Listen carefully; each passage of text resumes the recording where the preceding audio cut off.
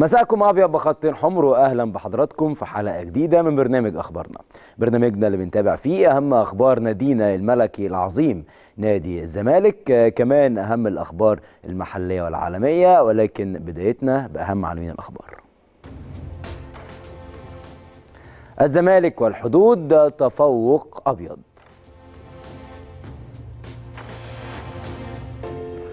حصاد العرب في كأس العالم نتائج مشرفة.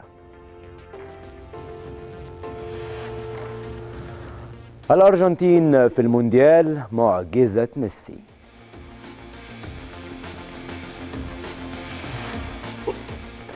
كابتن نصر إبراهيم في ضيافة أخبار.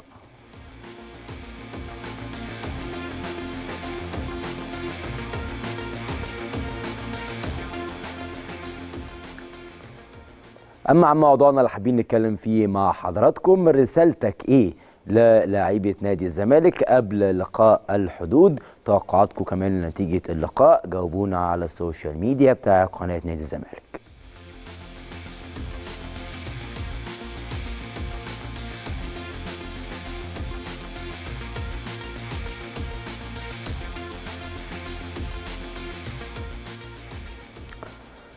ما ينفعش النهارده في بداية كلامي ما نتكلمش عن أهم لقاء في تاريخ الساحرة المستديرة. ليه أهم لقاء؟ عشان كل حاجة في في كأس العالم السنة دي إعجاز، كلها تاريخية، كلها قوية. أنا صوتي رايح من لقاء امبارح، أنا صوتي رايح من ست أهداف كل هدف لكل منتخب بحتفل، أنا بحب فرنسا آه ولكن ميسي والتانجو بيجيبوا أهداف قوية جدا جدا جدا. فمع كل هدف صريخ واحتفال وحاجات. فأنا من امبارح صوتي لسه رايح فاعذروني يعني لو صوتي رايح شوية. ميسي عمل معجزة ومتهيألي ده أفضل عنوان أتكلم فيه معاكم النهارده. عنوان حلقتنا كأس العالم السنة دي ومعجزة ميسي. التاريخ بيقول كده الواقع بيقول كده. خلاص انتهى الجدل بتاع مين أفضل لاعب في آخر حقبة زمنية. مين أفضل لاعب في تاريخ الكره في آخر 20 30 سنة؟ انتهى. الجدل في الحتة دي انتهى. طبعا مش ميسي أخد كأس عالم ما هو مش هيمحي تاريخ كريستيانو ولا تاريخ بقية اللعيبة ولا عارفين لسه مبابي وهالاند والشباب الصغيرين اللي جايين هيعملوا إيه. ولكن تاريخ كبير جدا عمله ميسي واختتمه بكأس العالم. أخيرا في حاجة انتهت صح. يعني إيه في حاجة انتهت صح؟ أنا من أول ما وعيت على الكورة بنشجع لأسماء كبيرة جدا. أنا كنت من عشاق زين الدين زيدان. بعشق زيدان. شايف أسطورة كبيرة لازم ينهي كأس العالم 2002 بالبطولة. يفوز بكأس العالم. ينتهي بيه كأس العالم بقصة مأساوية. النطحه الشهيرة الطرد الشهير خساره بلاده ال final على حساب إيطاليا. ألف- 2006 وانتهى القصة بتاعه آه، زيدان. كمان الدون. دون كريستيانو رونالدو عامل أداء عظيم يورو ماشي بشكل كبير جدا يجي تقريبا في آخر كأس عالم ليه مش عارفين ممكن إيه يدور في دماغه ولكن على الورق ده ممكن يكون آخر كأس عالم ليه. يخرج بشكل يعني صعب جدا. يخرج بشكل صعب. الناس كلها بتقول صعب علينا. آه إحنا كنا فرحانين من منتخب المغرب ولكن كان صعب. فالكورة عادة ما بتديش الأساطير دي في آخر بطولة ليهم ولكن الكورة عكست كل حاجة. إدت ميسي والكورة لو ما ادتش ميسي هتدي مين؟ ده سؤال مهم. لو الكورة ما آه ما ادتش 2006 زيدان وما ادتش كريستيانو السنة دي ولكن ميسي في 2014 كان الأفضل وجت عليه فصلحته السنة دي. ميسي فضل يقاوح فضل ورا الحلم. فضل صبور جدا. والناس اللي بتقول ميسي هو أفضل حد في المنتخب من 2000 وكام من أول ما بدأ مع منتخبه وهو أفضل حد في المنتخب. ميسي يا جماعة شارك في خمسة كأس عالم في كأس عالم واحد فيهم ما شاركش خمس نسخ بيكافح إن هو يوصل. وصل لل final وما طوعتوش. ما طوعتوش. ولكن السنة دي بتطوعوا الجميل في ماتش امبارح ليه بقول لكم ماتش امبارح؟ ماتش تاريخي ومن أهم اللقاءات في تاريخ الساحره المستديرة وإحنا لينا الحظ اللي إحنا كنا شاهدين على الماتش ده. ليه بقول كده؟ أنت كل جون بيتسجل بينقل معاه حاجات كتير جدا. ميسي سجل جون الأول بقى هداف البطولة رقم واحد إدى أفضل حارس في البطولة لحارس مرمى منتخب آه، آه، الأرجنتين مارتينيز. إدى بلاده أفضل آه، آه، أفضل آه، منتخب وهياخدوا كأس العالم. ادى إدى جوائز كتير جدا لمنتخب بلاده. هو هياخد أفضل لاعب مع أفضل هداف. إمبابي قام مسجل. كل ما إمبابي يسجل ياخد كل الألقاب دي معاه. يعني إمبابي يسجل هدف ياخد كل الألقاب دي. أفضل منتخب والهداف وأفضل لاعب وأفضل حارس كل حاجة ياخدها منتخب فرنسا. يوم يرد دي ماريا ياخد كل الحاجات دي الناحية الثانية يرد الناحية الثانية ميسي ياخد كل الحاجات دي ناحية الأرجنتين. إمبابي ما لا يكل ولا يمل one two يدرس وكورة first time جون. ياخد الألقاب مرة تانية كلها في كفة فرنسا. كأس العالم كان حيران امبارح بين قارتين. كأس العالم كان بين كل 20 30 دقيقة بيروح لقارة. أوروبا وأمريكا اللاتينية بتتخانق مين كأس العالم؟ وكل من هو بيشجع أي منتخب وأي حد حتى من عشاق فرنسا جواه حتة كده اللي هو لو ميسي كسب أنا مش هزعل. أنا واحد من الناس دي على فكرة. أنا بشجع منتخب فرنسا. ولكن كنت اللي هو فكرة لو ميسي كسب أنا مش زعلان مش متضايق. يعني هبقى سعيد ليه؟ فرحان اللي هو ختم تاريخه بالشكل ده. ألقاب ميسي وصلت ل 36 بطولة. طول مسيرته حتى الآن مع كرة القدم. ميسي قبل ماتش آه، آه، آه، النهائي قال ده هيكون آخر ماتش ليا. سلامه للناس في توديع ولكن تصريحاته بعد اللقاء ده ممكن ما يكونش آخر ماتش ليه بتشيرت منتخب الأرجنتين. ميسي أخد كأس عالم بطولة واحدة واحدة كوبا أمريكا 10 دوري أسباني واحد دوري فرنسي ولسه القادم مع أكيد فرنسا. كأس أسبانيا سبع مرات السوبر الأسباني سبع مرات دوري أبطال أوروبا أربع مرات السوبر الأوروبي ثلاث مرات وكأس العالم للأندية ثلاث مرات ويبقى أهم لقب في كل دول هو كأس العالم والقبلة دي. مفيش حد بيعشق كرة القدم ما دمعش زي كل العالم في الصورة دي. ما أشعرش ما أشعرش مع الصورة دي هو ماسك أفضل لاعب وهو لسه ما استلمش كأس العالم معدي شافه لا قال ما ينفعش ما ابوسكش ما ينفعش. ما ينفعش ما اخدكش في حضني واسلم عليك. أنا فاكر صورته 2014 هو معدي وبيبص له بصة اللي هو انت إيه؟ تخيلوا معايا كأس العالم ده محدش ينفع يمسكه غير رؤساء رؤساء وملوك فقط كمان لاعيبه كورة اللي حصلوا على كأس العالم. تخيل كان ممكن ميسي في يوم من الأيام ما ينفعش يمسك كأس العالم؟ صعبة. صعبة. أهم لاعب في الفترة دي تقلي نجم كبير جدا. بس كأس العالم السنة دي ما كانش ميسي بس. يعني كأس العالم السنة دي ما كانش ميسي فقط. كأس العالم دي دي 2014 تفتكروا هنا كان في إيه ال dialogue اللي باين أو داير بين ميسي وبين كأس العالم؟ ك... تفتكر كان بيقول له إيه؟ بيقول له هاجي لك تاني؟ هنتقابل تاني؟ ه... هتيجي معايا في يوم؟ هتطوعني في يوم؟ وفعلا طوعه وفعلا كان معاه وتحولت للصورة دي. وسر تحول ميسي من الصورة دي للصورة دي أنا شايفها أسرته. أسرته وأولاده اللي كانوا بيبكوا لما يخسر. هو فاكر بكاء اولاده رسالة ابنه ليه قبل البطولة اللي نشرتها مراته بعد اللقب رسالة قوية جدا. قبل الماتش تحديدا لما ابنه بيقول له أنا بكينا كتير جدا في الفاينل قبل كده ومش قادر أنسى البكاء مش قادر أنسى الحزن. البطولة دي هتكون الثالثه للأرجنتين. كلنا هنشجع ميسي وقال كلمة جميلة جدا. قال له وأكيد مارادونا هيشجعنا ويشوفنا من السماء. كلام من طفل مهم جدا. أكيد ده الكلام اللي خلى ميسي يقاتل في السن ده 120 دقيقة. هو ده هو ده الكلام اللي خلى ميسي يقاتل. ولكن اللي كمان مخلي كأس العالم ده نسخة نادرة التنظيم. عبقرية التنظيم.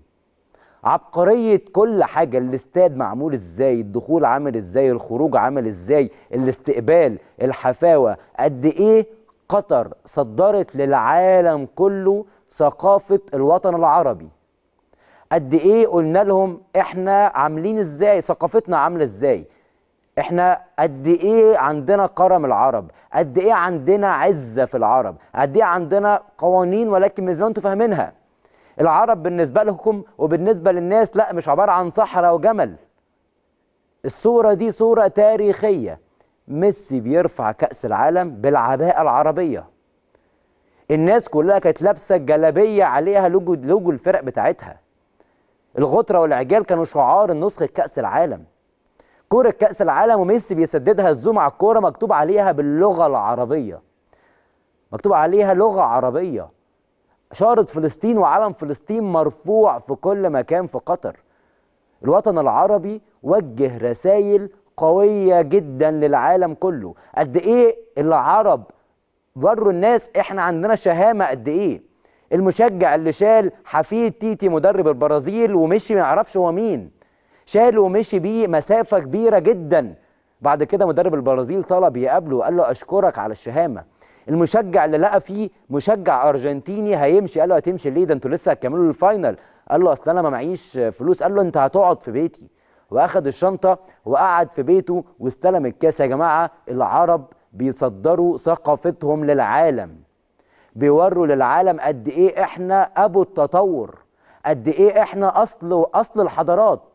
الوطن العربي أصل الحضارات.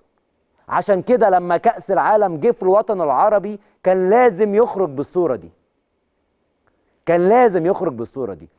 إحنا أساس كل حاجة. أساس كل العلوم. أساس كل أي أي حضارة أي تاريخ أي حاجة إحنا الأساس. الوطن العربي ككل. فما نشوف الصورة دي في أفضل بطولة في العالم كأس العالم أفضل لاعب في العالم مش عايز أقول في التاريخ إن في لعيبة كتير في التاريخ. الصورة دي محدش هيقدر ينساها. بعد 200 300 سنة الناس هتجيب الصورة دي يقولوا سنة 2022 ميسي رفع كأس العالم بالعباءة العربية. في حاجات ما بتنتهيش. في حاجات ما ينفعش تنتهي سواء كانت حلوة أو وحشة. وكأس العالم ده ما فيهوش ذكرى وحشة. كأس العالم ده ما فيهوش حاجة خارجة. كأس العالم ده ما فيهوش أي تفصيلة وحش كلها إنجازات. الإنجاز كمان بالنسبة لنا منتخب المغرب. منتخب المغرب اللي خلى النسخة دي بالنسبة لنا كمان كمشجعين عرب وأفارقة مختلفة. مختلفة. منتخب عربي بيفتح لك الباب. وكل المنتخبات العربية والأفريقية بتسأل نفسها دلوقتي أنا ليه ما كنتش مكان المغرب؟ وإزاي يكون مكان المغرب؟ ده سؤال بيدور في أذهان كل المنتخبات العربية والأفريقية. ليه وإزاي؟ كله هيجتهد كله هيحاول. المغرب مش بس ادت آمال وأمل كبير وفتحت الباب لكل المنتخبات العربية والأفريقية. ده زي ما قلنا لمحمد صلاح وحكيمي وزياش وكل الأسماء العربية الكبيرة المحترفة في كل الدوريات الكبيرة. بيخلوا الأندية تبص على اللعيبة العرب. منتخب المغرب هيفتح عينيهم كمان إن قارة أفريقيا والدول العربية عندها كنوز. دي فرصة نصدر ولادنا. نوديهم يلعبوا. ينشروا ثقافتنا يتألقوا ويرجعوا يلعبوا باسم بلادهم ويشرفوها زي ما حصل مع منتخب المغرب. نسيب ميسي ونروح لنجم آخر تألق وما ينفعش ما اجيبش اسمه. امبابي. امبابي اللي بيطمنا إن اللي جاي حلو. كنا كلنا عندنا تخوف لما ميسي وكريستيانو يبطلوا هيحصل إيه؟ مين هيخلي صوتنا يروح زي كده؟ مين هيمتعنا؟ مين هيخلينا قاعدين منبهرين؟ امبابي. امبابي اللي صنع تاريخ بالفعل رغم خسار خسارته لقب كأس عالم ولكن بقى تاني لاعب في تاريخ كرة القدم يسجل هاتريك في ال final. امبارح امبابي شايل فرنسا كلها على كتفه. امبابي بجد واخد فرنسا كلها على كتفه. وأنا شايف الصورة دي شبه صورة ميسي 2014 لا لسه واخد كأس العالم اللي فات ولكن دي شبهها. 24 سنة اللاعب لسه صغير عيد ميلاده بعد كام يوم؟ لسه صغير أتوقع هيحضن كأس العالم بعد أربع سنين بعد ثمان سنين لسه عنده كتير. طبعا هو تاني واحد يسجل هاتريك اللي سجل هاتريك أول حد في العالم كان هيرست لاعب منتخب إنجلترا سنة 66 في نهائي بين إنجلترا وألمانيا. امبابي كسب بجدارة لقب هداف المونديال. كمان بقى يعني هداف المباريات النهائية لمونديال عبر التاريخ بتسجيل أربع أهداف هدف في شباك كرواتيا. 2018 ثلاث أهداف في الأرجنتين. البصة دي صعبة صعبة جدا. بص هي بصة صعبة ولكن هو هنا أيضا بيقول لكأس العالم نفس الكلام اللي قاله ميسي. نفس الكلام اللي ميسي قاله 2014 هنا بيقول له أعمل لك إيه تاني؟ أعمل إيه تاني؟ أجيب اجوان منين تاني؟ أصغر لاعب في العالم جاب هاتريك. هو عنده 23 سنة و300 300 حاجة و20 يوم أو حاجة و حاجة و30 يوم. أعمل إيه تاني؟ سجل ثلاث ضربات جزاء في ماتش واحد يا جماعة. في حد يقدر يعمل ده؟ سجل اثنين في الماتش وواحد في ضربات الجزاء في final كأس عالم. في final كأس عالم والثلاثه تقريبا في نفس المكان. بنفس الت... بنفس ال... ال... الدقة بنفس القوة. ولاعب عنده كام سنة؟ هيتم بكرة ولا بعد بكرة 24 سنة. مش هقول لك بقى الكليشيه بتاعنا لما أجي أقول عندنا لاعب عنده 24 سنه 24 سنة بنسميه لاعب ناشئ مش هقول الكلام ده دلوقتي مش وقته. ده واخد كأس عالم من أربع سنين. من أربع سنين واخد كأس عالم. كان عنده داخل على 20 سنة كده. دلوقتي بيتألق ويتعملق وكان بيتلاعب بدفاع منتخب الأرجنتين زي ما هو عايز. امبارح فرنسا كلها ما جاتش غير بعد الدقيقة 70 80 لكن ميسي لما لما مبابي سجل بدأ يشيل تساوى ب 12 هدف في كأس العالم مع بيلي. فاضل معاه كام هدف علشان يتخطى كلوزا. يقدر يعمل كده في كأس العالم القادم أو اللي بعديه. ما كانش ينفع ما ابداش معاكم النهارده بكلامنا عن كأس العالم. لسه في الحديث بقيه هنتكلم أكيد في وسط الحلقة عن ميسي وعن بقية اللاعبين وبالتأكيد هنتكلم عن نادي الزمالك. بس نطلع تقرير عن المعجزة ميسي.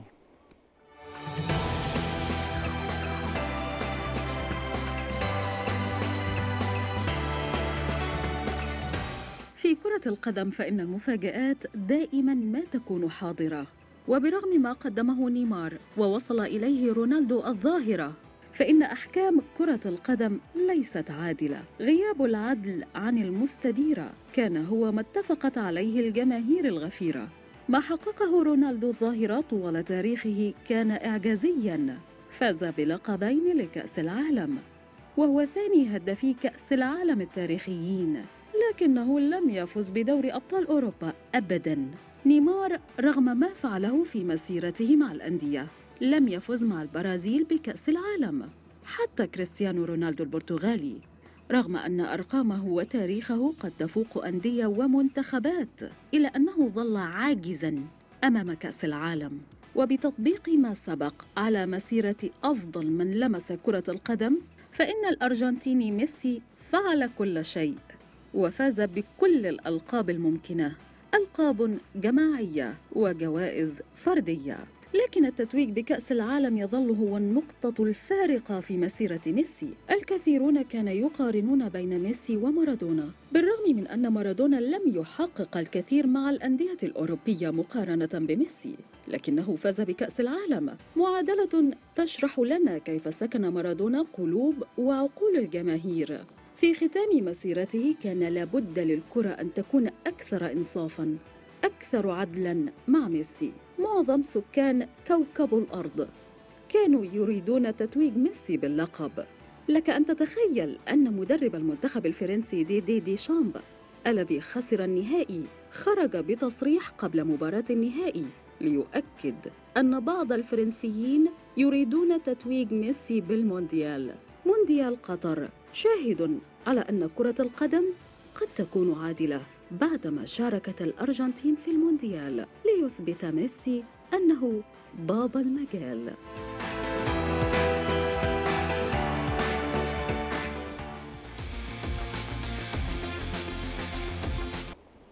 أهلا بحضراتكم من جديد ونبدأ اخبارنا بأخبار نادي الزمالك والنهاردة اختتم فريقنا استعداده لمباراة بكرة إن شاء الله. اللقاء عنده مع حرس الحدود. يعني ماتش مش هيكون أيضا من الماتشات السهلة. بكرة اللقاء يعني هيكون فيه شغل بدني كبير جدا. عشان كده الخبر اللي إحنا معتادين عليه قبل اللقاء بيوم المدرب ينزل بالحمل البدني وركز على تنفيذ مجموعة من الجمل الفنية خلال التدريب وإن شاء الله نوفق ونقدر نحقق الجمل دي بكرة ونقدر نسجل منها أهداف. فريقنا دخل معسكر مغلق في إحدى الفنادق القريبة من استاد القاهرة الدولي النهارده ضمن البرنامج اللي وضعه البرتغالي فريرا قبل مباراة غدا فريرا فضل إن الفريق يخوض مرانه الجماعي عصر اليوم على ملعب النادي ثم الدخول في معسكر سريع لمدة 24 ساعة. هو الراجل بيفضل قبل أي لقاء يكون اللعيبة كلها مع بعض في معسكر في فندق قريب من الاستاد اللي هنلعب فيه ب 24 ساعة. البرتغالي فريرا المدير الفني لفريقنا حرص على توجيه بعض التحذيرات.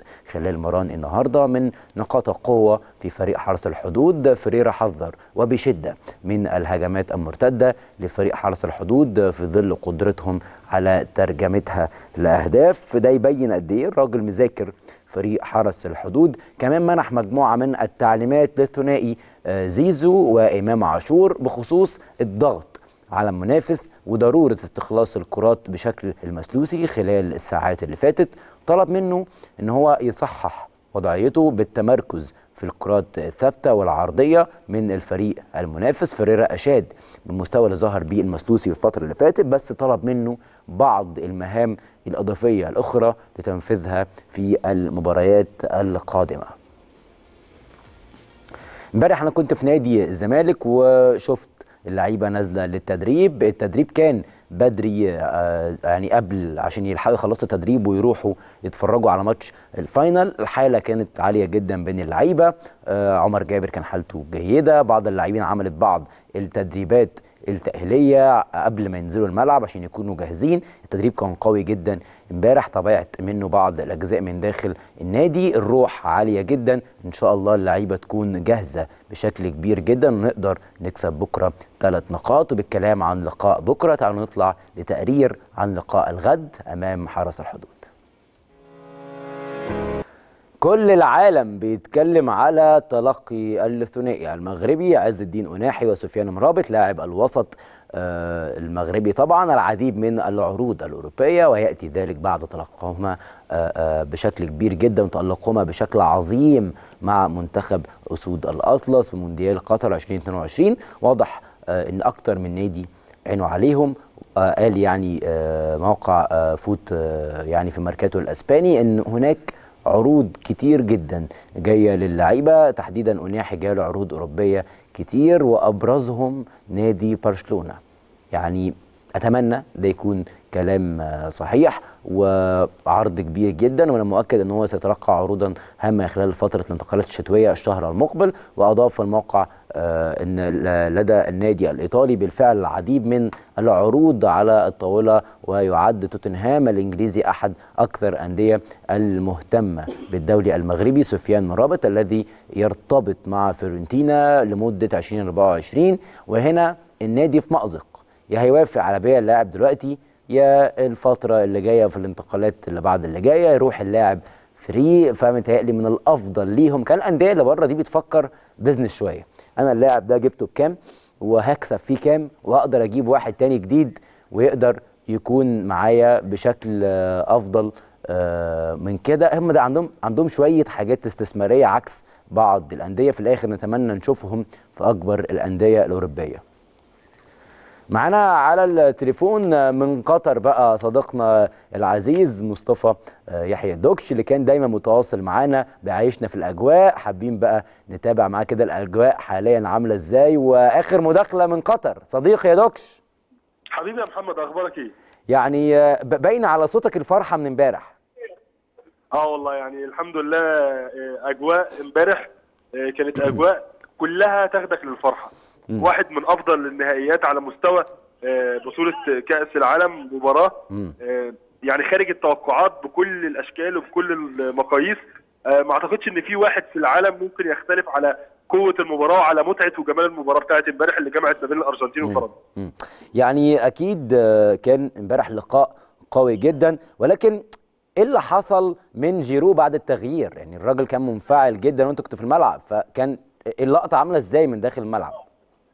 والله يا محمد آه، الحمد لله يعني يعني الحمد لله كان ربنا كاتب اللي, اللي أنا برضو اللي انفرد بلقطة آه، جيرو دوت. يا عم انت انت انفردت بكل الحاجات اللي في كأس العالم يا عم. حبيبي ربنا يخليك يا محمد والله العظيم. آه، يعني الحمد لله هو كان واضح. أنا كنت متوقع أول لما لقيت خلاص فرنسا المدير الفني خد قرار تغيير جيرو والشوط الأول وفي نهائي كأس عالم كنت واثق إن اللاعب هيطلع غضبان. طلع فعلا انفعل بشكل كبير وبدأ على طول يرمي إزازة المية ولما قعد بدأ ياخد الجاكيت بتاع المنتخب كده ويرميه على الأرض. أكتر من حد من اللعيبة اللي كانت متواجدة على دكة فرنسا كانوا بيحاولوا يهدوه خصوصا طبعا اللي هو بيتغير وفرنسا متأخرة بهدفين قدام الأرجنتين. فأنت كده كمدير فني بت- بتحمل اللاعب جزء كبير جدا من صحيح. التاثر كان باين اللي هو متضايق وكان باين اللي هو غضبان. لكن مجمل يعني ال- الأحداث كانت كلها ممتعة محمد. يعني ما تقدرش تقول آه، مين اللي مشدود أكتر من مين. صحيح. الملعب كله مشدود.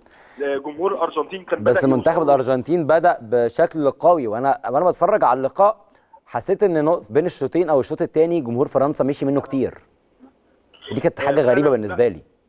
هو هو فعلا يعني لعيبة الأرجنتين أو جمهور الأرجنتين وكل الناس اللي في الملعب آه، ما كانتش متوقعة السيناريو دوت. الكل كان متخيل إن فرنسا هي اللي هتكون فعل والارجنتين هي اللي هتكون آه، رد فعل لكن دوت ال- ال- أو ال- ال- الإحساس دوت هو اللي كان سبب في النتيجة اللي إحنا شفناها امبارح. الثقة الزايدة اللي كان بيلعب بيها آه، لاعيبه فرنسا أو نزلوا بيها المباراة هي اللي خلت الأرجنتين مسكت الملعب بشكل طب على النقيض بقى كان رد فعل جماهير أرجنتيني بعد الريمونتادا القوية دي؟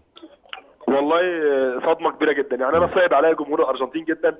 كنت خايف بصراحة من إن فرنسا تحسم اللقب لأن الجمهور الأرجنتيني واحد من أفضل الحاجات وأفضل العناصر اللي كانت موجودة بصراحة في كأس العالم. جمهور عاشق لكرة القدم يا محمد. جمهور أصغر طفل فيه حافظ أغنية منتخب بلاده. صحيح. زي أكبر شخص فيه.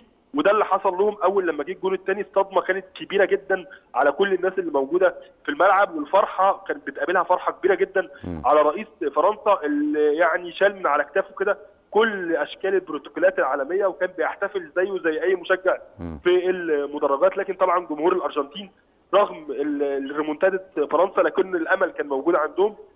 الوقت ده محمد خليني أقول لك اللي اعداد كبيرة جدا من الجمهور اللي متواجد في أرض الملعب. بدأ آه، يظهر عليه الحزن الكبير. في ناس منهم بدأت تعيط بشكل كبير طبعا. جدا.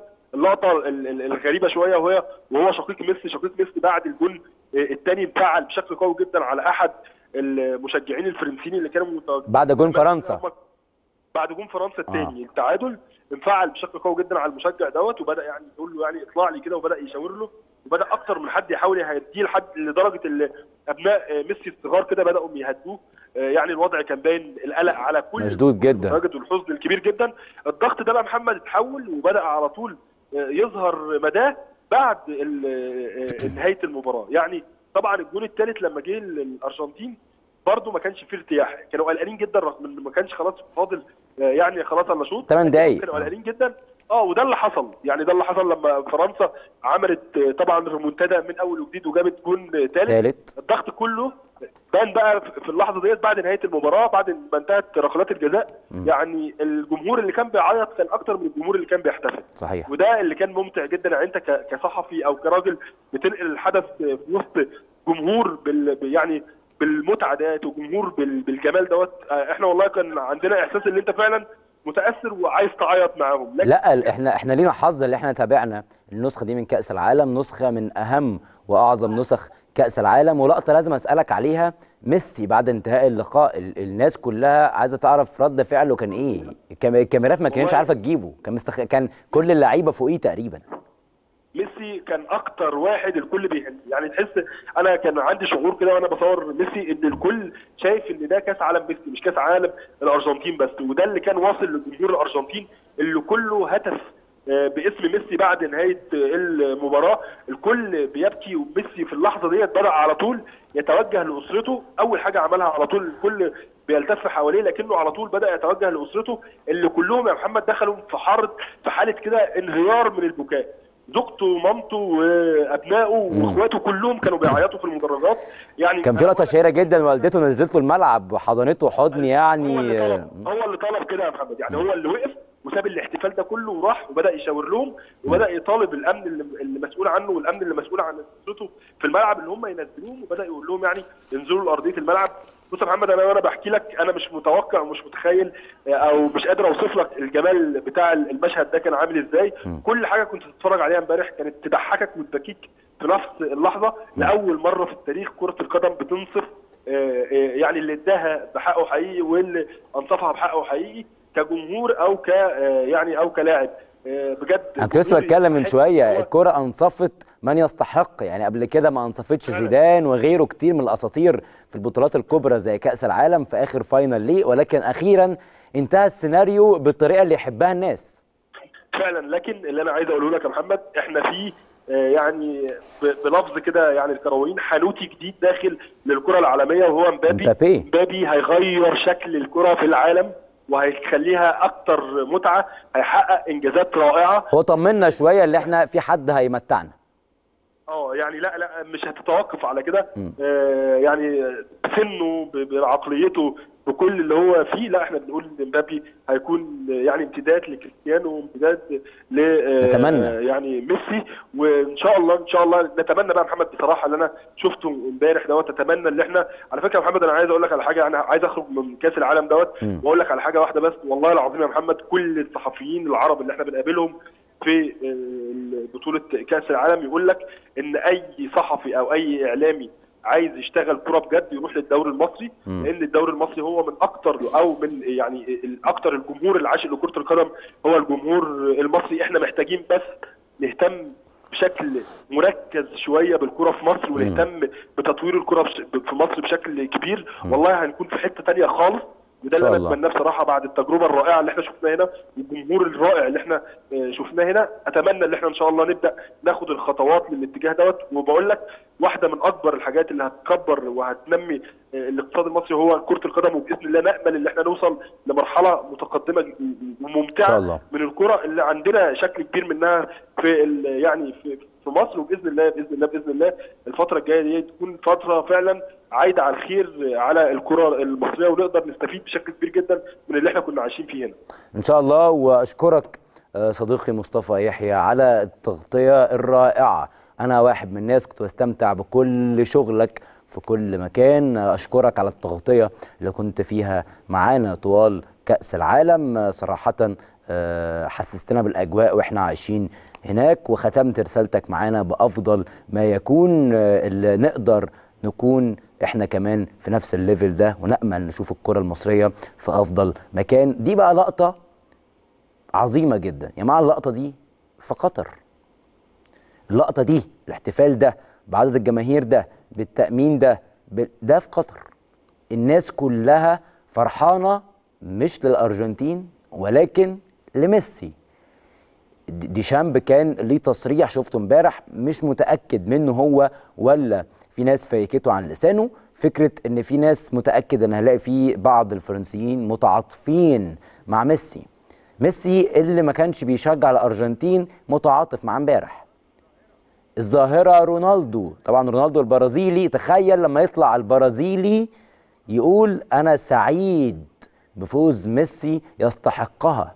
كلام محترم جدا. تخيل لما يطلع يطلع آه، آه، حد برازيلي يمدح في نجم الأرجنتين دي بالنسبة لهم كارثة كبيرة. كمان على فكرة بيلي اتكلم وعمل رسالة على آه، انستجرام وقال ميسي يستحق وأهنئ المنتخب المغربي وقال أخيرا كرة القدم تسرد قصتها وإدت ميسي أخيرا آه، اللي كان يحتاجه أو يستحقه من البداية. وأيضا يهنئ إمبابي لتسجيله ثلاث أهداف وقال حاجة جدا حلوة على منتخب المغرب. قال لا يسعني إلا أن أهنئ المغرب على هذه آه، الحملة القوية وال- والرائعة اللي عملتها للكرة الأفريقية. قال من الرائع أن ترى أفريقيا تتألق. مبروك للارجنتين قال كمان بالتأكيد مارادونا يبتسم الآن. ده كلام قوي جدا.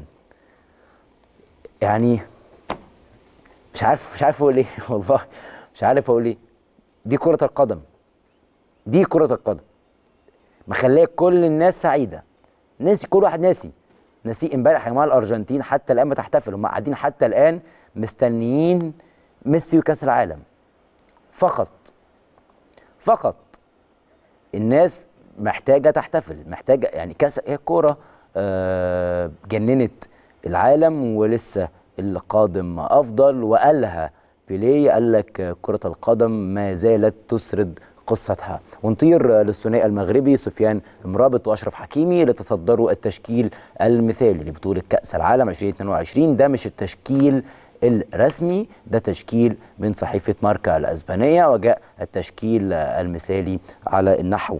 آه التالي حراسة آه المرمى. كان موجود مارتينيز الدفاع حكيمي اوتوميندي وديول وهرنانديز وخط الوسط سفيان مرابط وبلينجهام وجريزمان وفي الهجوم إمبابي وميسي ودي ماريا. آه فيما كشفت صحيفة ليكيب الفرنسية التشكيل الأفضل لبطولة كأس العالم من وجهة نظرها في قطر على النحو التالي حراسه المرمى ليفاكوفيتش من أوكرانيا وخط الدفاع أشرف حكيمي من المغرب رومان سايس من المغرب وديول من كرواتيا واكونيا من الأرجنتين اللي نزل امبارح وخط اللي نزل بديل مكان دي ماريا يا جماعة امبارح في اللقاء. مش عارف اختاروه إزاي بس okay. خط الوسط آه أنزو فرنانديز من اللعيبة المهمة أفضل لاعب يعني شاب وسفيان مرابط خط آه وسط ولوكاكو أو آسف ولوكا مودريتش. معلش يا جماعة آه الأسماء كلها شبه بعضيها شوية فلوكا مودريتش. أما خط الهجوم ميسي وإمبابي وساكا. أنا شايف ساكا من أفضل اللعيبة اللي كانت موجودة صراحة في الدوري. أو في المنتخب الإنجليزي قدم كرة عظيمة جدا قدم كرة ناضجة والناس كلها كانت سعيدة بأدائه تحديدا جمهور أرسنال اللي كان سعيد جدا. معايا خبر مش قادر أوصفه غير بخبر مؤسف وخبر مؤسف لكل عشاق كريم بنزيما اللي أعلن اعتزاله اللعب دوليا معنا التليفون أستاذ هاني عبد النبي الناقد الرياضي والصحفي. نفهم منه هل الخبر ده فعلا صحيح وليه أخذ القرار ده دلوقتي؟ أستاذ هاني. مساء الخير. منورني كالعادة. حبيبي متالق دايما ومنور في قناة الزمالك قناة الجماهير اللي بتعشق المدينة إن شاء الله. أشكرك يا صديقي وتفتكر ليه بنزيما أخذ القرار ده دلوقتي؟ والقرار ده صحيح صحيح؟ بالطبع إحنا كل الناس تابعت الأيام اللي فاتت جاهزيه كريم بنزيما للعوده من جديد إن هو يقود هجوم منتخب فرنسا في بطولة كأس العالم. وكان الكل بيتطلع إزاي اللاعب بيشارك في المباريات الودية مع نادي ريال مدريد خلال الفترة الحالية وليه ما يرجعش البطولة ويقود هجوم منتخب فرنسا. ومن هنا بدات تبان التقارير العالمية اللي اتكلمت على الخلاف اللي دب ما بين كريم بنزيما وديديه ديشامب بعد حفل أفضل لاعب في العالم. م. الكل راح في في الوقت ده قضى إن كريم بنزيما لما تحدث وشكر كارلو أنشيلوتي وشكر كل نادي ريال مدريد والاتحاد الفرنسي والكلام من ده وما ذكرش أو تجاهل ديديه ديشامب إن ده سبب حزن أو دي المدرب مين من نجمه أو من مهاجمه اللي هو أفضل لاعب في العالم وبالتالي بدا ما هو ما اشتغلش معاه. ما هو يشكره على إيه؟ ما هو كان هو بقى كان متطلع دي دي ديشام لا شارك معاه في دوري الأمم الأوروبية. لا يعني ما لعبش معاه في البط يعني كأس العالم اللي فات كان فيه عقوبة وما شاركش ك... آه يعني بالظبط. ما كانش من القائمه الرئيسي معاه. فبالتالي في بقى طبعا في خلل نفسي وذهني ما بين المدرب وما بين كريم بنزيما نشأ بينهم آه أنا كنت شايف أصلا الصحف كمان بتهاجم ديدي دي شامب آه من تقريبا من نص كأس العالم كده اللي أنت ليه رجعت كريم بنزيما؟ كنت تخليه هينفعك في الأدوار الإقصائية طالما اصابته كانت ممكن تخف. أكيد طبعا وبت... وخاصه إن أنت في المباراه النهائيه امبارح أنت اكتشفنا الفوارق الفردية اللي بيملكها كريم بنزيما واوليفيه جيرو جيرو امبارح خرج زعلان ومتضايق إن هو ات... بدل في نهاية الشوط الأول في دقيقه 40 لكن لما كريم بنزيما لما يكون موجود في تشكيلة منتخب فرنسا أكيد كانت الأرجنتين أو سكالوني كان هيعمل للاعب حساب بشكل كبير جدا لا وجايب معنويات عالية أفضل لاعب في العالم واخد Champions يعني جايب كل المعنويات اللي تخليه يتألق. بالظبط. فبالتالي كان كان وضعية الكل كانت يعني حالة ذهول إزاي كريم بنزيما كان أنا كمدرب عندي فرصة إن أنا أعتمد على خدمات لعيب كبير بحجم كريم بنزيما وازاي الموضوع ده. طبعا كريم بنزيما لما البطولة انتهت وأخفق المنتخب الفرنسي في كأس العالم أعتقد إن هو كان واخد القرار من بداية ما مشي من آه، معسكر منتخب فرنسا في إن هو يعتزل دوليا. إن هو بس يعتزل في دوليا. بعض لكن الأخبار أيضا شفتها في الصحف الأوروبية إن هو قال لو ديدي ديشامب هيكمل أنا مش هكمل مع المنتخب. أعتقد إن هو واخد القرار لأن الاتجاه كله في الاتحاد الفرنسي إن هم كانوا بيتحايلوا على دي دي, دي شامب إن هو يكمل مع منتخب فرنسا من قبل بطولة العالم أو تحديدا من بعد دوري الأمم الأوروبية إن كانوا بيطالبوا المدرب بان هو يكمل لحد يورو 2024 لكن هو كان المدرب شايف إن هو يأجل الملف آه، لما بعد بعد, كأس العالم. نهائي كأس العالم أنا عايز أسألك على حاجة سريعا برضو تهمنا في أفريقيا جدا منتخب المغرب ووصوله للمربع الذهبي ولقاء قبل النهائي. هل ده يضيف آه، كرسي آه، أيضا ومنتخب زيادة للمنتخبات الأفريقية اللي هتشارك في كأس العالم؟ لا إحنا خلينا نتفق على إن اللائحة بتاعت بطولة كأس العالم بتنص على إن في تسع. آه، تسع آه، مقاعد كأس العالم. القادم هيكون عدد المنتخبات أكتر 48 48 منتخب هي هي هيرتفع عدد المنتخبات ال- لقارة أفريقيا إلى تسع منتخبات ثم هي هي- هيصعد منتخب عاشر ل- آه، يعني تسعة ونص آه تسعة وتلت مش تسعة ونص لأن إحنا هيبقى. في بطولة من ست منتخبات ماشي هيتم آه، تصنيف الست منتخبات دول الاثنين الأفضل هيتجنبوا الدور التمهيدي والأربع منتخبات الباقيين. هيلعبوا مباريات فاصلة ما بينهم ثم يتاهل منهم فريقين يقابلوا. الفريقين التانيين علشان خاطر اثنين من الست منتخبات دول يمثلوا كأس العالم. ربما يكون من ضمن الست منتخبات منتخب افريقيا افريقيا بس اللوائح بتقول لو في منتخب من قارة آه، وصل لنصف النهائي بيزيد مقعد. صحيح ما إحنا لا هم هم رجعوا في ال- المجلس فيفا آه،. رجع واعتمد فكرة آه، إقصاء منت- آه، الاتحاد الأوروبي بعد الضغوط اللي تزايدت على الاتحاد الدولي بفكرة إن الاتحاد الأوروبي بياخد مقاعد كتيرة فليه كمان ندخله ملحق إن هو ينافس القارات الأخرى اللي عددها أقل في إن هي تاخد مقاعد أكتر فالموضوع برضو إلى حد ما خلينا نتفق إن هو لسه- موضوع جدلي. ومحتاج لسه نشوف اللجان الفنية هتطبقه إزاي في الاتحاد الدولي لأن كل يوم وليلة ما بتبقى بتجهز لبطولة جديدة في بيكون ليها لسه أبعاد وبيحاول يرضي جميع الاتحادات الكبرى يعني أنا متهيألي لسه. هنسمع على الأرقام دي آه خاصة كمان إن الأول مرة هيبقى عندك آه بطولة من ثلاث منت... ثلاث دول بينظموا البطولة وبالتالي أنت لما بتيجي تتكلم عن إن ثلاث منتخبات هيتأهلوا بشكل مباشر لبطولة كأس العالم المقبلة إزاي. النظام هيتم الملحق هيبقى شكله إيه مين اللي هيتم إقصائه مين لسه. كل الحاجات دي هتبان صديقي أستاذ هاني عبد النبي أشكرك على معلوماتك القيمة وفي تقرير معانا عن أرقام العرب في مونديال قطر. بعد التقرير ده هينضم لينا الغول كابتن نصر إبراهيم. ضيفنا النهارده خليكم معانا.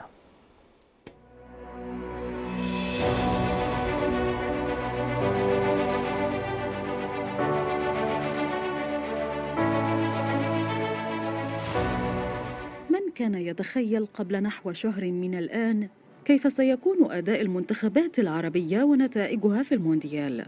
أكثر المتفائلين قد يقول إن العرب لن يتمكنوا من مجاراة المنتخبات الكبرى، لكن من كان يتوقع أن ينافس العرب على المونديال في بطولة استثنائية.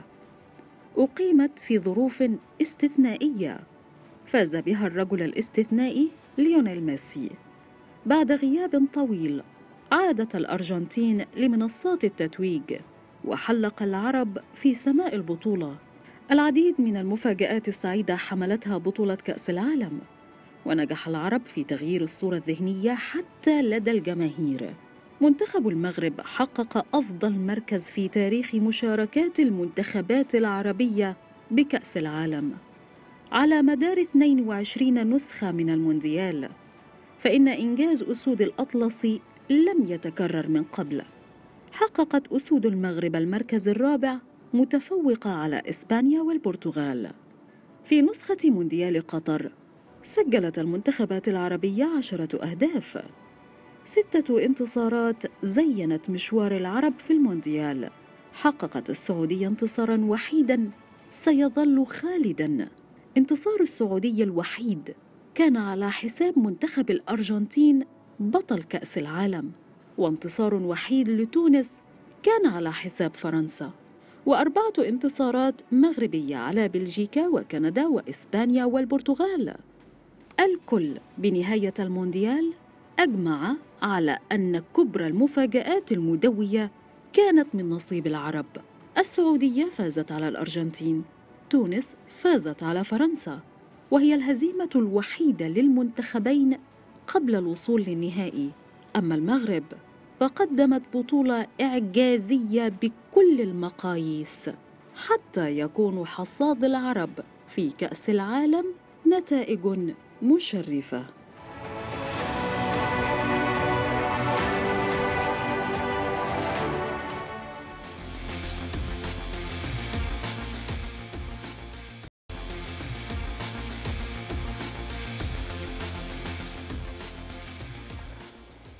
أهلا بحضراتكم من جديد ومنورني في الاستوديو الغول. كابتن نصر إبراهيم نجم النجوم نادي الزمالك. منورني دايما يا أبو الكباتن. وجودك الله يخليك. وحشني جدا. أنت اللي وحشني. بس. متابعك دايما في النادي وبشوف آه،. حضرتك كتير في نادي الزمالك ودايما متألق يا أبو الكباتن. طبعا. ما نقدرش نسيب النادي طبعا. النهارده هنتكلم في حاجتين مع بعض. هنتكلم الأول عن نادي الزمالك وتألق الزمالك في آخر ثلاث لقاءات. آخر لقاء ما كانش الحالة بأفضل شكل ولكن قدرنا ناخد ثلاث نقاط وده المهم آه. بالنسبة لنا كلنا. شايف الزمالك يقدر آه، يعمل إيه بكرة علشان ما يكونش مجرد فوز يكون فوز ونتيجة ونفتح أبواب مدرسة الفن والهندسة من جديد؟ يعني ربنا يسهل إن شاء الله بس أهم حاجة التوفيق إن شاء الله مهم بكرة. آه نبدأ طبعا آه، على المكسب. خلي بالك أنت بتلعب على دوري عام. طبيعي. للمرة الثالثه الصراع رهيب. الفرق كلها على مستوى عالي كل الفرق حقيقي. آه أنت فأنت بتلعب على البطولة. وانت بطل السنة اللي فاتت. فأنا أعتقد إن الفرقة زي ما أنا شايف كده إن هم عندهم النزعة ديت إن هم عايزين ياخدوا البطولة للمرة الثالثه فكله جاهز النهارده والحاجة الكويسة أي حد ما بيلعبش النهارده لما بيشترك بيبقى عايز يأدي وبيأدي كويس قوي. عشان زي ما أنت شايف برضو الحمد لله مجموعة اللعيبة على أعلى مستوى. على أعلى مستوى. وكتير حقيقي. يعني لا. والانسجام بيبان. لما من لقاء للتاني آه. بيبان الانسجام. آه طبعا. قلنا بعد ست سبع ماتشات استمراريه ال- تثبيت التيم وبعض اللعيبة لما تجهز والموقوف والإصابات. والحاجات دي هتلاقي فرقة الزمالك في أعلى أعلى الحاجة الكويسة طبعا أنت عارف إن آه، عندك البديل. البديل لا يقل عن الأساسي فدي صحيح. طبعا بتدي نزعة هجومية طبعا وضغط على الفريق المنافس ونتمنى التوفيق إن شاء الله للنادي يعني قبل ما أروح مع حضرتك لفنيات أكتر وتشكيل اللقاء واللعيبة مين ممكن يبدأ ومين لأ اعتدنا تظهر الإشاعات والكلام ده كله في نهاية الموسم. آه. يعني كان عادة نيجي إيه آخر خمس سبع لقاءات آه. يطلع بقى الإشاعات. ومين زعل من فلان ومين طبعا. عطس والتاني قالوش يرحمكم الله فاتخانقوا حاجات كده إيه تضحك يعني. آه طبعا. لكن السنة دي قلنا بسم الله الرحمن الرحيم يلا نبدأ دوري إشاعات. مشاعر طبعا. أفتح أي مكان الناس ما بتصدق تقول أي حاجة. أول حاجة ترد على الناس دي بإيه؟ تاني حاجة تنصح جماهير الزمالك ولاعيبته تتعامل مع الحاجات دي إزاي؟ يعني أنا أنا اتكلمت في الموضوع ده والموضوع ده مهم. آه، طبعا بنصح لعيبة الزمالك إنها ما تبصش لأي كلام ملوش دعوة يأثر عليهم في المباريات. أتمنى من الجمهور الوقوف خلف الفرقة طبعا بصرف النظر عن النتائج برضو. أنا. بقولها بصراحة. ليه أنت بت بت بتخوض للمرة الثالثه أو البطولة للمرة الثالثه وأمل إن أنت إيه تحتفظ بيها. آه فدي مش سهلة.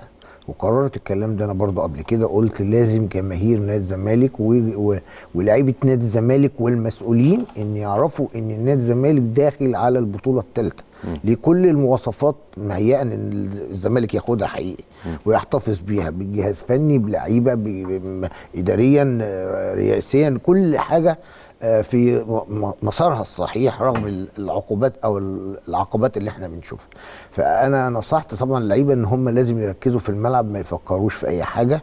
وده آه، واضح واضح مع الجهاز الفني إن اللعيبة كلها واحد اللي بيلعب واللي ما بيلعبش. وفجاه تلاقي لعيب ما بيلعبش ومصاب بعدين فجأة تلاقيه في الملعب.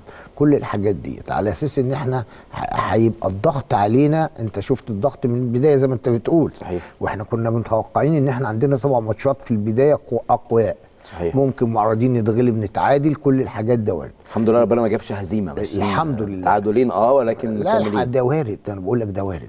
لكن هو الضغط عليك هيبقى أقوى من البداية ليه؟ خلي بالك. لأن عليك من بدري. من البداية من قبل ما تبدأ. وأنا كل... هو هو متأكد إن في الملعب مش قادر عليك. طبعا. أنا داخل الملعب مش طبعاً. قادر عليك. فلازم نفسيا بقى يبدأ يطلع إشاعات على فريرة. طبعاً. أصل الراجل متضايق. أصله آه، الجو برد. اصله عايز يمشي. أصله آه، جاله عرض من آه، مش عارف فين. أصل كلام كتير بيبدأ يطلع ويبدأ يوقع الجماهير مع المدير الفني. هو بصوا ده ده مش مثبت خطة. ده مش بيعتمد على ده عايز يموت فلان. ده بيموت يا جماعة يموت إيه؟ يا جماهير الزمالك عندها ثقة في نادي الزمالك في إدارته وفي فريرة وفي اللعيبة.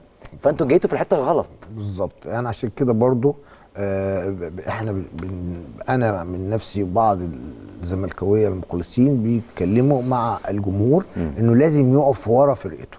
ما يبصوش للكلام اللي ملهاش لازمة. إحنا سمعنا إمام عاشور في الفترة كانت هيجدد عايز يسافر عايز ها؟ والحاجات دي وأنت بتقول دلوقتي فييرا ممكن بعد شوية لا كابتن أنا بضحك. أنا بضحك ليه؟ إن لو الكلام ده كان على أي لاعب تاني كانت قلب الإعلام والسوشيال ميديا وأنتوا بتهدوا لعيبة مصرية ولعيب شاب ولسه بيطلع. لكن إمام محدش محدش سامع. بقى ما بقول لك. محدش سامع؟ عادي ما مش مهم يا جماعة لك، خبطوا فيه براحتكم. آه، مستباح. آه عشان هو ماشي ولعيب كويس ومستواه كويس هو وزيزو بعض زمايله كلهم فطبعا لازم كلهم بصراحة ماشيين بشكل كويس. الحمد لله. فطبعا لازم يهدوا لك واحد ورا واحد يعني مش هيسيبوك كده. خلي بالك لازم جمهور نادي الزمالك يحط الموضوع في دماغه هو هو هو, هو مين اللي بوظ محمود علاء؟ مين اللي هده؟ الجمهور طبعا. مش طبعاً. الجمهور اللي. ساق الجمهور. الجمهور والإعلام. اللي خلى الجمهور ي- يعمل كده في اللاعب مع أو ضد ايا كان الفكرة ولكن إيه اللي ودى اللاعب ده لكده؟ هو كل واحد فينا عنده طاقة. محمود ما قدرش يستحمل. طبعا. أوباما مستحمل ضغط. طبعاً. عمر جابر استحمل ضغط. إمام استحمل ضغط. ولكن إحنا كجمهور وكإعلاميين وكناس تنتمي للزمالك المفروض نشيل الضغط ده مع لاعبتنا ما نضغطش عليهم أكتر. زكريا الوردي إيه اللي خلاه يمشي؟ طبعا الضغط ده الراجل. طق. لا طبعا. انت من أول ما جه وهو لا يصلح لا يصلح. تسبب تسبب طبعا. سامسون الحمد لله ما بيفهمش عربي. بس إحنا الحمد لله ما بيفهمش عربي. أنا عايز أوصل برضو لنقطة يعني مهمة. برضو إحنا في في- دلوقتي في عهد احتراف ولعيبة كبيرة والمواضيع دي بقت سهلة تكرارها بقى سهل. مش زي زمان. يعني زمان كان إيه؟ ال- الإشاعة تقعد ماسكة. دلوقتي خلاص الإشاعات بقت كتير. كابتن أنا بسمع كلام للأسف من لعيبة كورة كبار بيطلعوا ياخدوا اللقطة. ويطلع ينتقد بعض اللاعبين يقول له ما انت بتاخد ملايين كتير استحمل الضغط. حضرتك لما كنت لاعب ما استحملتش الضغط. آه طبعا. حضرتك لما كنت لاعب آه، زمت على الجماهير. حضرتك لما كنت لاعب ما فيديوهات موجودة والناس ما بتنساش. لا دي حقيقة. فاما يطلع لعيب كورة كبير يقول أصل مفروض محمود علاء واللعيبة تستحمل ما انت تاخد فلوس كتير. طب ما حضرتك كنت تاخد فلوس كتير. وفي يوم من الأيام ليك لقطة يعني الناس كلها شايفاها أسوأ لقطة في الكرة المصرية. ما أنا بقول لك بقول لك اللعيبة برضو لا اللعيب إنسان وبيفكر وبالعكس ده بيأدي. هو طبعا لازم لازم يبقى فيه أنا بتكلم بصراحة لازم يبقى فيه توعية من الجهاز الفني أو المسؤولين. صحيح. ليه؟ إن الحاجات دي لازم تخلوا بالكم الحاجات دي ما تحطهاش في دماغكم عشان دي بتأثر على اللعيبة. أنت عارف لما يبقى في جمهور يعني إحنا زمان لما كنا بنلعب طبعا في جمهور تبقى في مشكلة مع لاعب بتسبب له مشكلة صحيح. آه. لكن دلوقتي خلاص إحنا دلوقتي ال- التعليم زاد ال- ال- الفكر زاد ومتهيألي آن حاجة. الأوان نشوف في آه، حد نفسي أو آه، طبيب مهم. نفسي مع أندية المصرية تحديدا مع أندية كبيرة زي نادي الزمالك أنا القايمة نزلت قايمة آه، ماتش بكرة إن شاء الله القايمة جاهزة يا شباب قايمة معانا على الشاشة في خط في حراسة المرمى في عواد وصبحي خط الدفاع عمر جابر وعبد الغني والزناري وحسام عبد المجيد وفتوح والمستوسي خط الوسط آه، رؤى والسيسي ودونجا إمام عاشور يوسف أوباما شيكابالا وزيزو ويوسف أسامة نبيه وسيد عبد الله نيمار خط الهجوم سيف الدين الجزيري وسامسون ويوسف حسن. آه، إيه رأيك في القائمه دي يا ابو الكباتن قايمه حلوة طبعا لعيبه على أعلى مستوى أنا بقول لك. يعني يعني يعني متهيألي نحتار نلاعب مين؟ الحمد لله. بالظبط. الحمد لله. نمسك الخشب. أي خشب في الاستوديو الحمد نمسكه. لله. ده برضه تديك الفرصة إن يبقى عندك دكة كويسة أو ناس قاعدة بره كويسة. كل الحاجات دي مهمة. وغير بقى طبعا في لعيبة كتير مش عايز أقول لك في لعيبة ناشئين كمان في الوقت إن شاء الله ربنا يستاهل. زي مين قول لنا لو في اسم حاضر في ذهنك يا ريت تقول في- لنا يعني كان حسام أشرف كان موجود وخرج طبعا وكان وفي سيف فاروق جعفر ما أعرفش برضه سيف فاروق موجود. أنا امبارح شفته في النادي بس ما كانش في التدريب ممكن عنده في ولاد بقى طبعا. محمد طارق من اللعيبة اللي بتشارك. أي محمد طارق محمد. طارق. السردباكي في سكر من. حاتم، حاتم آه. لا في في الخضري خط وسط جاهز، ماجد هاني. آه، ماجد هاني. لا إيشو آه، لا ده في أسامي كتير كتير لسه لسه الدور جاي. الحمد في حراسة. المرمى نديم وسيد عطية. نادين وسام في ظهر صبحي وعواد. بالظبط بالظبط. وفي حاتم. آه، في آه، في لعيبة كتير يعني حراس مرمى كويسين وفي لعيبة كتير على مستوى مستوى عالي. وأتمنى أتمنى في الفترات الجاية تبقى ال- ال- الفكر كده مع مع اللعيبة اللي هي موجودة اللي هيخرج اللي هيحترف اللي هيخرج بره اللي هيحترف بره اللي هنعمل له إعارة. كل الحاجات دي تبقى المفروض. على أساس دي طبعا أنت عارف الكورة هي دلوقتي بقت آه، موارد مالية. صحيح. يعني لازم تاخد بالك من الحاجات دي خاصة العقبات اللي دايما بتقابل نادي الزمالك في النواحي المالية اللي بتحصل يعني. يعني عايز برضو أقول لحضرتك الغيابات اللي موجودة خارج القايمة من اللقاء. بكرة في مصطفى شلبي للإجهاد اللي كان عنده اللي خرج بسببه في اللقاء آه، اللي قبل اللي فات. وإبراهيم نضاي عنده آه، إصابة. لسه يكون موجود إن شاء الله عنده إصابة في العضلة الخلفية ولحقناها بدري. كان ممكن يوصل لحاجة زي الونش لكن الحمد لله اتلحقت.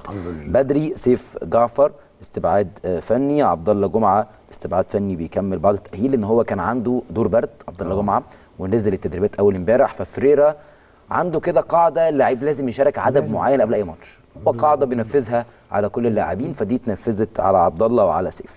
عبد الشافي للتأهيل وكان موجود امبارح على فكرة عبد الشافي. شفته في النادي وشفته في التدريب وكان بيتمرن قبل اللعيبة بنص ساعة في فترة التأهيل هو وعمر جابر وكانوا عاملين تأهيل قوي جدا طبعاً. في لا، آه، لا. تراك على جانب الملعب الزمالك عنده إصابات آه، كتير ومتهيألي عودتهم تثقل. اللعيب- الفريق بشكل كبير هجوميا ودفاعيا طبعا أنت شفت قلت مجموعة لعيبة على مستوى عالي برضه غير اللي موجود يهزوا أي فريق طبعاً. آه، كفاية طبعاً. آه، كلهم جامدين مش عارف أقول مين اللي كلهم جامدين يعني طبعا إحنا برضه بنثق برضه في الجهاز الطبي بتاعنا حقيقي. دكتور محمود أسامة على آه، أكمل يعني. ده بقى بقاله فترة مش محسسنا بالغيابات إنها بتقعد كتير برضو دي مهمة.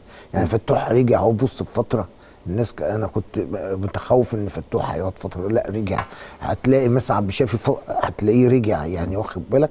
اللعيبة اللي موجودة طالما ال- الجهاز الطبي على المستوى العالي طبعا هتلاقيهم موجودين في أي وقت و... بقى- حاضرين بشكل سريع إن شاء الله. آه وده طبعا المفروض معمول حسابه لكل الحاجات دي الإصابات طبعاً. الطرد ال- ال- المشاكل كل الحاجات دي. فالحمد لله عندنا وفره من اللعيبة المميزين. ودي برضو الصفقات اللي جت زي ما أنا قلت إن الناس كانت زعلانة أو متضايقة إن الصفقات كتيرة لأ احتاجناها. كتير إيه؟ أنا قعدت فترتين قيد موقوف. ما أنا بقول لك. كان معايا قايمه إجبارية. يعني على أساس أنا في أوقات يا عيني كنت بشوف بصة فريرا على الدكة اللي هو آه. يبص مفيش حد أنزله. يعني منزل كل إن مفيش حاجة هعمل إيه؟ طبعا طبعا. فلا دلوقتي الزمالك جايب لعيبة. أساسية ولاعيبه يكونوا موجودين بشكل قوي دكة ولاعيبه تسند ولاعيبه تكون موجودة. الزمالك لعب آخر ثلاث لقاءات بدأ يعمل سلسلة انتصارات جديدة الجيش ثم بيراميدز ثم آخر آه لقاء ظهرنا فيه بشكل قوي جدا أمام البنك الأهلي. الزمالك كل اللقاء لعب بشكل مختلف بعض التغييرات في الخطة. بكرة حضرتك تفضل أو بتحب يبدأ إزاي مستر فريرا أنا طبعا مش هي... مستر فيرا مش هيغير. يعني ممكن يبدأ بعمر بعمر بفتوح يعني هيبدأ بلعيبته مش هيغير. هو بس آه، في مستر فيرا برضو الناس ما تتسرعش عشان هو بيعمل تغييرات دايما يعني هو بيبقى عامل تشكيل. بيلعب بيه وبيبدأ بالمباراة. بس الميزة في مستر فيرا إن هو بيعمل حسابه في أي وقت من المباراه الوقت تغيير. ممكن يغير طريقة لاعب يشيل لاعب واخد بالك؟ حسب سير المباراة. ودي ودي حاجة فنية أنا بعتبرها عالية. يعني أنا مش هقعد أنا آه، آه، آه، اثبت تيم وأشكل تيم وأبقى عارف إن أنا هلعب. طب أنا نزلت ألعب بالطريقة دي مثلا ولقيت الفرقة واقفة لي أو بتلعب بطريقة مختلفة.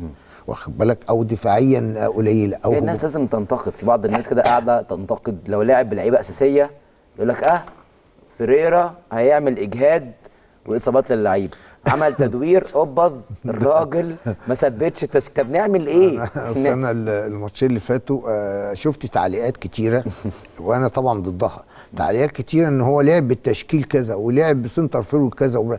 لا هو مستر فريرا بيشكل أو بيعمل ال team على أساس فرقته التثبيت اللي هو عامله. آه، والميزة بقى الأحسن إن هو أثناء المباراة عارف اللي بيقود المباراة اثناءها دي بتبقى حاجة مش سهلة. أنا بكون موجود في الملعب. آه. يعني الملعب غير ليه بقول في الملعب غير ال- الماتش؟ في البيت. في البيت الكاميرا جايبة لي شوف أنت بتقول إيه؟ الجزء بتاع الكورة. لكن وأنا قاعد بتفرج جوه الملعب أنا بكون شايف التوزيع. أنا شايف الرسمة. بالظبط. فبشوف إمتى الزمالك فجأة بيلعب ورا آه، آه، فجأة 4 3 3 فجأة 5 3 2 فجأة بيلعب 3 4 3 فجأة بيلعب 3 3 4 تلاتة. بشوف التغييرات؟ وبشوف السويتشات أنا بكون مستمتع. ما أنا بقول لك هو ده بقى المدير الفني اللي بيستغلها. وخاصة إن إحنا عندنا بعض اللعيبة مميزة إنها ممكن تلعب في أي مكان. تكتيكية. آه بالظبط. ودي حاجة كويسة. لما يبقى عندك لعيب بيلعب في أكتر من مكان دي بالنسبة للمدير الفني بتبقى كويسة. دي طبعا حاجة كويسة لمستر فيرا إن هو بيدير المباراة وهو واقف. شوف انت بتشوف في الملعب غير في ال- في البيت. صحيح. واخد بالك؟ هو بيشوف الملعب سير إزاي الفرقة اللي قصاده بتلعب إزاي إيه نقط القوة نقط الضعف. ممكن اغير الطريقة انزل امام مثلا بدل ده في الماتش اللي فات امام المفروض half defender. لما كان في نقص راح لاعب لقدام. واخد بالك وجاب جول. الماتش اللي فات فأنا بقول لك يعني دي حاجات الماتش اللي قبل اللي فات. اللي قبل اللي فات آه. آه. فدي مميزات كلها بتبقى آه، أسامة آه، آه، يوسف آه، قصدي يوسف يوسف يوسف, أسامة. أسامة الوقت اللي نزل فيه ويشوف إيه في الكوره ما كانتش مطوعاه من أول ما نزل لكن طوعته في أهم كده فين؟ لعب أهم؟ نقطة بالنسبة لنا في الهدف. المكان آه، والجون اللي جابه في المكان هو بيلعب بدماغه كويس. أي نعم هو بيلعب على الاطراف بيلعب wing. left سريع جدا. لكن النهارده أنت محتاج راس حربة في, في وقت زي كده. هو استغله ودخل لجوه. على ذكر راس الحربة حضرتك الغول يعني و... والناس كلها عارفة تاريخ حضرتك الكبير مع نادي الزمالك. الله يخليك. رأيك إيه في سامسون اللي لسه ما لعبش ماتش كامل؟ يعني لسه مع أنا سامسون آه، لسه ما لعبش. ما هو بص سامسون أنا يعني شفته الماتشين اللي قبل ما يصاب آه. واخد بالك لا هو فيرويد اللي هو الماتش اللي. سجل فيه مع سموحه والماتش اللي عمل فيه آه، كوبري كده عشان يسجل فتوح يسجل الماتش اللي فات برضو لو تلاحظ لو تلاحظ الكورة هو اللي سحب الدفاع هو- ليوسف آه. آه. ودي برضو بقرر وبقول النادي الزمالك أو الفرقة الكبيرة ما تقدرش تع... ما تقدرش ما تلعبش براس حربه لازم. وعايز أفهم برضو بعض الناس رأس الحربه مش لازم يجيب هدف خلي بالك. رأس الحربه ممكن يبقى محطة. واخد بالك؟ ممكن ي... تحركاته ممكن الضغط كل ده بيساعد الآخرين معاه. ممكن ما يجيبش جوان. أصلا أنا لعبت في المكان ده وبرضه طبعا كان ال... وقابلت كل الهجوم ده وقابلت إمتى سجلت آه، وامتى ما سجلتش؟ لا كنت بلعب ماتشات مش عايز أقول لك يعني كنت بلعب ماتشات هايلة وبلعب وبعمل وببقى سبب في مكسب الفرقه طبعا. بس ما بجيبش جون. فالناس ما فا آه. واخد بالك؟ فدي برضو لازم الناس تتحمل إن راس الحربة هو من السامسونج من الموضوع دوت إنه بيجري بيتحرك بيروح على العارضه القريبة العارضه البعيده على طول. أنا شايف بعض الأحكام الصادرة من بعض ال- الناس يعني ضد سامسون. في ناس تبدأ تقول لك أصل هو لعيب محطة. أصل هو لعيب بصندوق. أصل هو يا جماعة هو لعيب. هو لعيب هو لعيب. فريرا بقى اللي يبدأ يقول له والله يا ابني أنا عايزك تبقى أنت اللي نبني عليك الهجمة. وده متهيألي صعب إن هو قصير القامه فأنا مش هبني عليه فهبني على سيف الدين الجزيري مثلا. بالظبط. فدي مثلا فممكن أستعمله كاستلام. هو بدنيا أنا شفته في ماتش بيراميدز. كرة تحت رجله. خبط فيها. براحتك. لا هو كويس لعيب كويس. بدنية عظيمة. هو طبعا زي ما انت عارف معظم الناس عندنا هنا عايزين الراس الحربة اللي هو متعودين عليه اللي هو يبقى اللي هو إيه. بقى ده؟ اللي هو إيه بقى اللي اللي هو هو اللي هو بيعمل إيه؟ اللي هو بيبقى ثابت اللي هو متحرك بس في ال 18 ما يخرجش بره لجوه بيسحب بيقدر يجيب أهداف على طول واخد بالك؟ هم باصين لها كده ما عرفوش إن المفروض الكرة اتطورت بقى فيها جري وبقى فيها سرعة. صحيح. طبعا آه طبعا ال ال هي برضو آه في نقص برضو إن برضو الناس برضو بتفكر برضو ودي مهمة لازم يبقى في مساعدة. راس الحربة لازم يكون بيستغل راسه دي مهمة. فطبعا الناس عشان بتشوفش الحاجات دي دلوقتي يعني أنت عارف برضو بعد اعتزال برضو ال- الفراودة بس, بس أنا بحس ساعات إن الفرود لو قوي بدنيا بتحسب عليه ساعات فاولات ظلمك. بتحصل معاك ده يا كابتن انت تحجز على كورتك فالحكم يحسب لك فاول. كتير كتير. بتحسب عليا. وعليك؟ عليا إحنا آه. معانا بقى كابتن ياسر عبد الرؤوف يقول لنا إيه يا كابتن ياسر. كابتن ياسر يعني اما نلجأ في اي حاجة تحكيمية ما ينفعش ما نجيش لحضرتك. ربنا يكرمك يا حكمنا الدولي يعني نتعلم منه دائما. لا يا حبيبي العفو وتحياتي طبعا لكابتن مصر الكبير أهلاً كابتن بيك كابتن ياسر. ودايما منور ودايما كده نورك. يا كابتن ياسر الله يخليك. أنا عايز أتكلم مع حضرتك في نقطتين ولكن نتكلم في النقطة المحلية. الأول شايف حتى الآن في أول آه، بداية الدوري كده وبداية الموسم آه، شايف التطور عامل إزاي في التحكيم المصري؟ رأيك في التحكيم بشكل عام عامل إزاي؟ التطور. طيب آه بص يا أنا أنا ليه بقول تطور؟ علشان المفروض في تطور يعني المفروض في اسم جديد جاي يطور. كاتنبرج. المفروض بيطور. يطور فين مش عارف بس هو موجود. طيب بص يا قدر آه انت بس إيه يعني سبقتني أنا كنت ناوي بكرة إن شاء الله وفي تحليل ماتش الزمالك كنت هتكلم على بعض النقط. من ضمنها النقطة الاساسيه اللي انت بتتكلم فيها اللي هي التطوير. تمام؟ دايما آه، يعني آه، الناس بتوع الاقتصاد والناس بتوع ال- المتابعات ال- ال- الميدانية لما تيجي دايما تقول تطوير فيبقى لازم يكون في مقارنة. صحيح. ما بين القديم وما بين افتر بيفور علشان أيوه علشان تقدر توصل بالظبط إحنا كنا فين ووصلنا لإيه. وهل التطوير إذا كان موجود هل تطوير إيجابي ولا هل هو آه، بقى أصبح حاجة سلبية أو معوقة. تمام طيب إحنا بنتكلم إحنا في الأسبوع الثامن. لو اتكلمنا على السبع أسابيع اللي هم مروا من عمر الدوري وقلنا إن اتلعب فيهم حوالي 63 ماتش صحيح ال 63 ماتش دول يا قضا اتغير فيهم 10 مباريات نتائج ال- ال- نتيجه المباراه اتغيرت بسبب أخطاء تحكيمية. تمام لو بصينا للنسبة هنلاقيها حوالي 15% و8 من 10 يعني بنتكلم في حوالي 16% مم. علشان نوصل بقى يبقى عندنا نتيجة ليها معنى. نقارن ما بين السبع أسابيع بتوع الموسم ده والسبع أسابيع بتوع الموسم بداية الموسم. اللي فات آه تمام لو قلنا إن اتلعب في السبع أسابيع دول اللي هو وقت المقارنة يعني كان حوالي 60 مباراة. اتغير فيهم تقريبا حوالي آه تسع ماتشات أو ثمان ماتشات بالتحديد ثمان ماتشات. فكانت النسبة إحنا بنتكلم في حوالي 13% فنسبة أقل النسبة أقل من السنة دي.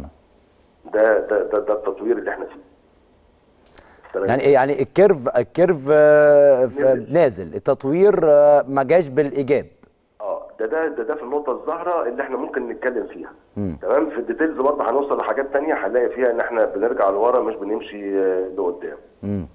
صحيح. آه، ده بيتهيألي يجاوبك على السؤال آه، إحنا فين.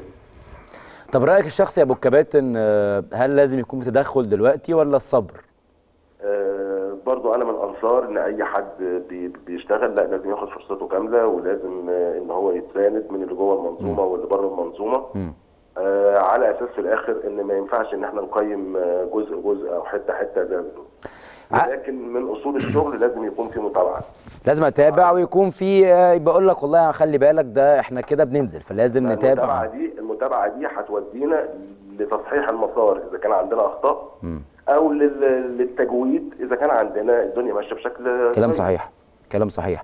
أنا عايز أروح من التحكيم آه، المحلي للدولي وعلى آه، ذكر يعني أو بقى سيمون مارتشينياك الم- الحكم اللي كان موجود في لقاء ال final كان محكم بين الزمالك وأهلي. تهيألي على ما أظن يعني هيتصحح لي ماتش آه، الكاس ماتش 2-1 لنادي الزمالك. كان في لقطة شهيرة جدا ظهرت بعد اللقاء بيوم النهارده الصبح في صحف فرنسا كلها مقلوبة.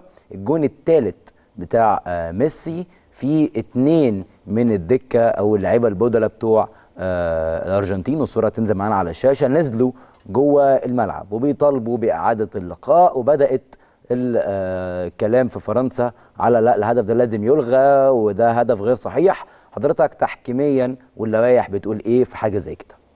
طيب إحنا مش بنتكلم في لوائح إحنا بنتكلم في قانون. ماشي.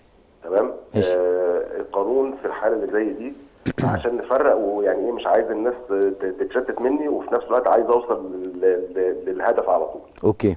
آه، إحنا بنتكلم في إن في حد أو شخص زائد موجود داخل الملعب. امم الشخص الزائد ده تعريفه في القانون حاجتين. تمام؟ مم. يا إما يكون واحد من المسجلين أو المقيدين في تقرير الحكم بتاع المباراة اللي إحنا بنقول عليهم ال- اللاعبين الأساسيين مم. البدلاء آه، مسؤول الفريق اللي هم عبارة عن المدير الفني المدير الإداري الإداريين الجهاز الطبي. تمام؟ كل دول تمام؟ دول اسمهم اللي هم بيقيد في ال- ال- ال- ال score sheet بتاع الحكم. وبالتالي دول تعريف أو جزء من تعريف الشخص الزائد. تمام؟ الجزء الثاني إن هو ما يكونش أحد العناصر المسجلة في آه تقرير المباراة. وده بنعتبره اسمه عنصر خارجي أو مش إحنا بنعتبره القانون بيعتبره عنصر آه اللي هو ممكن حد من الجماهير حد من آه. مصور الولاد اللي بيلموا الكور آه، آه، زي ما بيحصل عندنا ممكن تشوف آه، حيوان اليف ماشي جوه الملعب. كل دي عناصر خارجية. أو زي ما حصل في الدوري الإنجليزي في سنة من من السنين إن اترمت اترمت بالونة كبيرة جوه منطقة الجزاء. أيوه كل ماشي. دي عناصر خارجية. تمام. آه، هنتكلم برضو هنقسمها بقى جزئين. في حالة إن في هجمة آه. وفي حالة إحراز هدف في ماشي. حاله هجمة تمام اللي إحنا عليها هجمة واعده أو فرصة محققة دي ليها إجراءات تانية خالص هنبعد عنها علشان مش ده الحالة اللي معانا. ما نبعدش عن الموضوع. الحالة اللي معانا اللي هي حالة إحراز هدف. تمام؟ حالة إحراز هدف وفي نفس الوقت نزل آه حد من الفريق اللي هو بيحرز الهدف.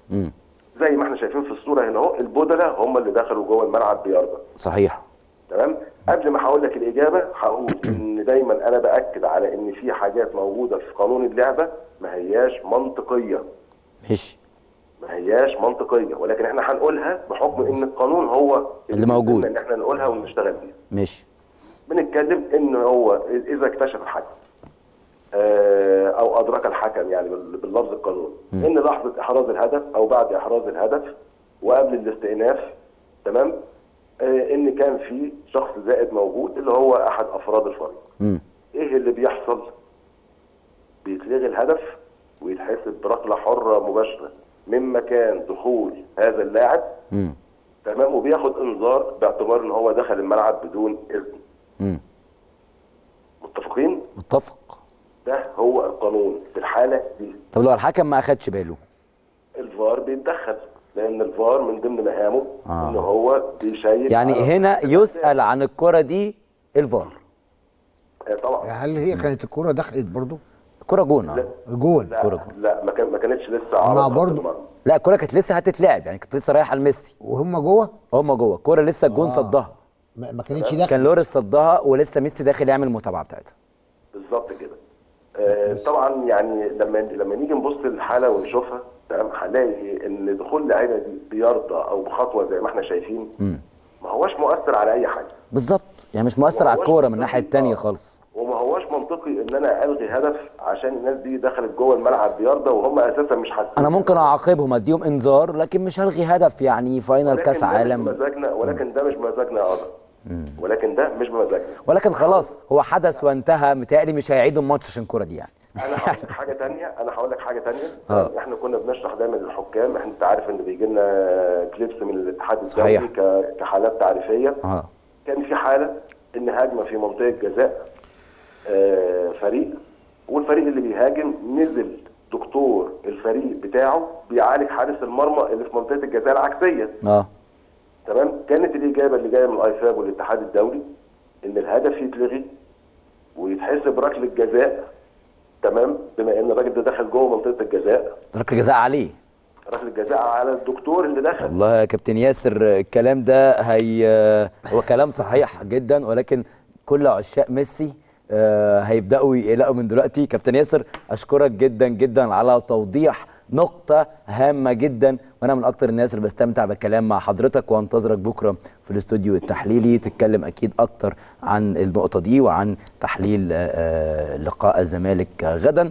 كابتن ناصر شفت لقاء امبارح إزاي؟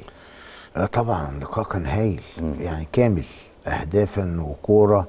أنا صعقت تاريخي من أهم اللقاءات آه، فعلا يعني أنا صعقت كمان في بمستوى فرنسا في الشوط ال- ما جاتش. آه، أول 60 دقيقة. الأرجنتين آه في الشوط الأولاني صعقت واخد بالك وهي فرنسا بتلعب وجابت جونين فصعقت يعني إيه ده؟ الارجنتين كانت ناديه مركزة جدا آه وبعدين اتحول الماتش زي ما انت شفت في الشوط الثاني لأهداف جميلة في أوقات آه آه هي الدقيقة 80 جميلة. ضربة جزاء قلبت اللقاء بالظبط كل ده اتقلب الماتش في لحظة ودي برضه بنبين حلاوة الكورة ها اللي إحنا لازم بقى نفهمها في مصر هنا.